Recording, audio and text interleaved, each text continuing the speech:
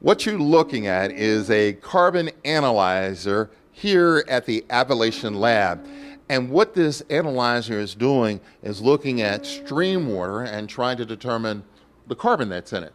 And it's all a part of what they do here at the lab. And I'm joined by Eric Davidson. Eric, uh, the lab here does some pretty unique research. Tell us a little bit about it. Sure, Charles. Well, we focus on everything from genes to whole ecosystems. So to understand how an ecosystem works, you need to understand the genetic makeup of the plants and the animals, and then how those plants and animals interact with each other, with the streams, with the soil, with the atmosphere, and figure out how the whole thing hangs together and works together as an ecosystem. Earlier, we looked at a, uh, a researcher looking at dating of wood. Talk a little bit about that. Right. So one of the issues that we face now, of course, is change in our climate. Uh, whether it's natural change or human-induced change, the climate is changing. And in order to compare the rates of current change in climate, we need to study what happened in the past. My name is Robin Paulman. I'm the lab manager here. And today we're going to analyze 100-year-old tree core. We're going to separate the rings of the tree core to analyze, analyze the carbon going back in time. I'm going to cut the individual rings with a knife and then we're going to analyze it on our isotope ratio mass spectrometer. I noticed that you have some bay grasses here. People will wonder, what are bay grasses doing all the way out here in western Maryland? Well, first of all, remember that what's happening in the bay starts up here.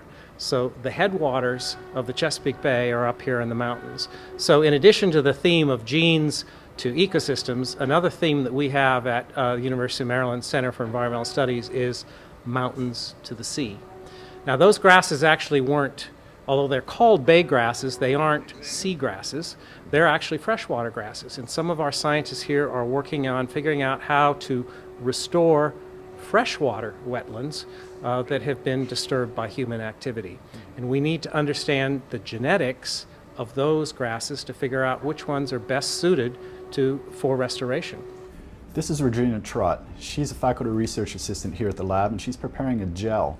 She's doing that so that we can extract the information from the stream samples to better assess the quality and health of our watersheds. I know a lot of people will ask that question, why is science important? I know why it's important, but explain to the layman why it's important. Well, I keep going back to things like, well, where does our food come from? Where does our water come from? Where does our fresh air come from?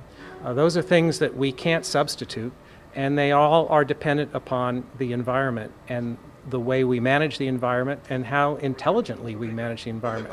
So our prosperity and our health is dependent on how well we understand the environment, how well we can manage it, and science is fundamental to that process.